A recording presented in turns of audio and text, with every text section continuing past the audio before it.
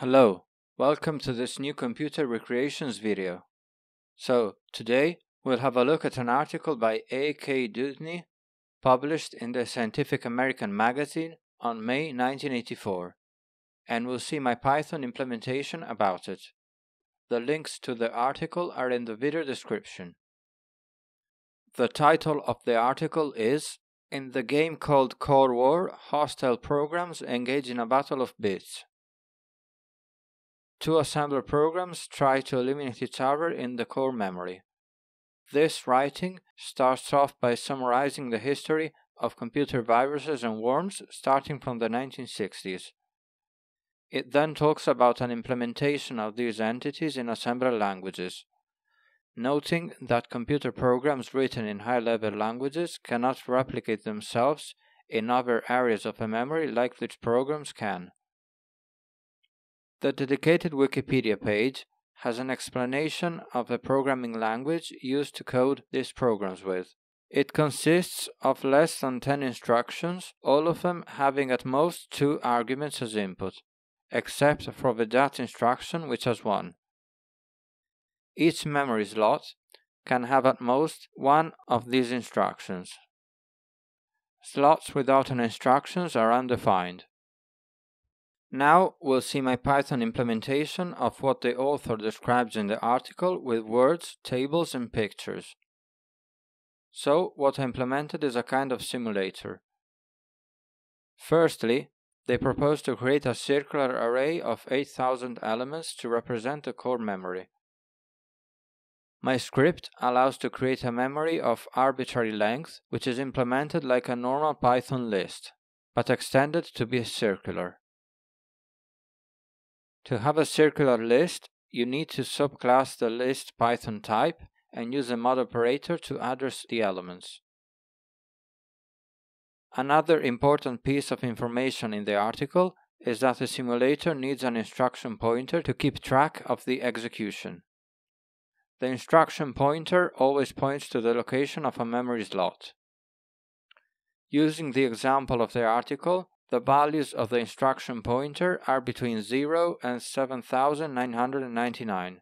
This implies that when an operation accesses a memory slot, it does so by summing the instruction pointer to the pointed address. Addressing is always relative. The simulator class contains the instruction pointer and core objects, and all the operations we read on the Wikipedia article earlier, such as mov, dat, jump, etc. The other methods of this class are used to transform the human mnemonics to machine code and vice versa. Now I'll show you how to transform the human readable mnemonic operations into a machine code.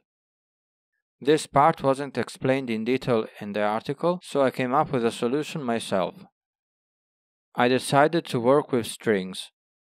In this script, Machine code operations are strings without spaces containing only decimal digits, except for the letter F in the dat operation.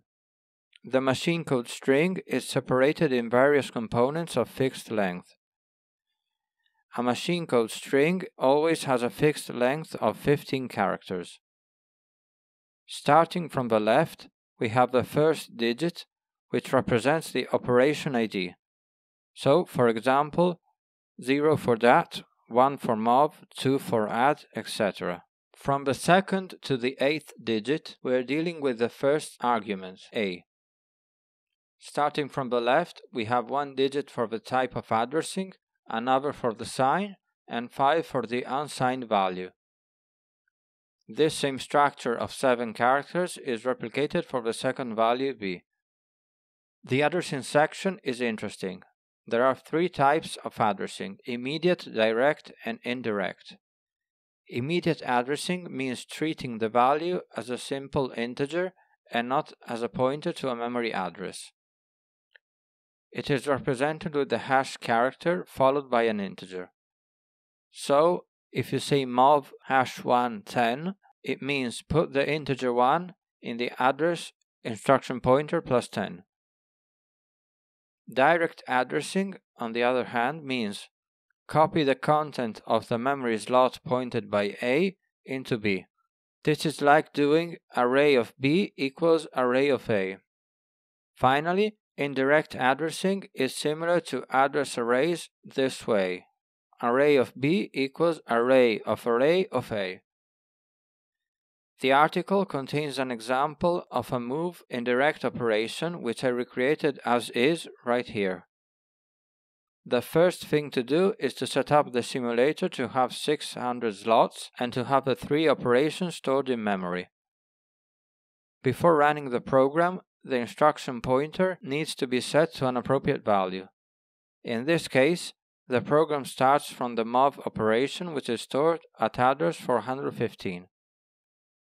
To inspect the memory, I created the dump method that iterates through each memory slots and prints the instructions, thanks to the prn operation.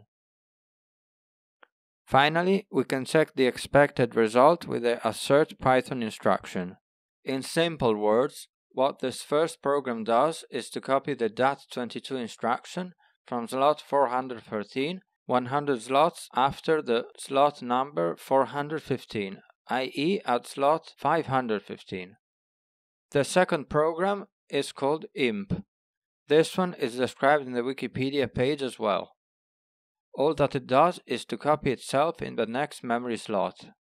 This worm-like behavior is achieved through a mov 01 operation, which means copy the content of a current memory slot to the next. In the code, you can see that before and after running the program, there is the call to the dump method to see how the memory is like. Since we have 10 slots in the second simulator, we expect that when running this simulator, all the slots in the end will have the imp program. Now I'll show you some important bits of the simulator class. The human mnemonics to machine code method, as the name suggests, transforms the readable strings into strings of 15 characters containing actual instructions read by other methods. Its complementary method is called machine code to human mnemonics and does the opposite. The split machine code method takes as input a machine code and separates it into its various components we discussed earlier. Other methods such as execute operation and store operation are self-explanatory. The run method reads the content of the core memory pointed by the instruction pointer and then calls the execute operation method.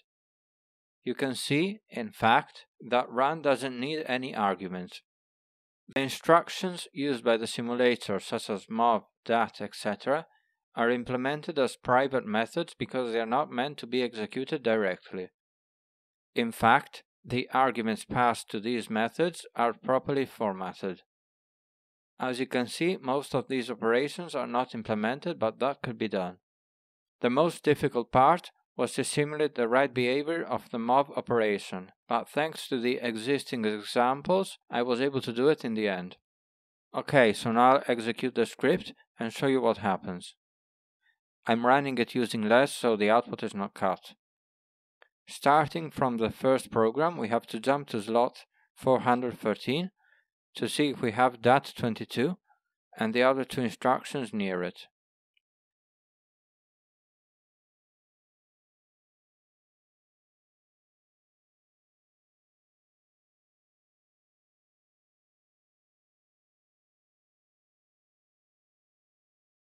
If we jump to slot 515, we expect to have a DAT22 inside it. Here it is. The rest of the memory remains undefined. In the second program, before running it, we have the slot 0 with the mov01 instruction. After the for loop, all the slots have the imp program as expected.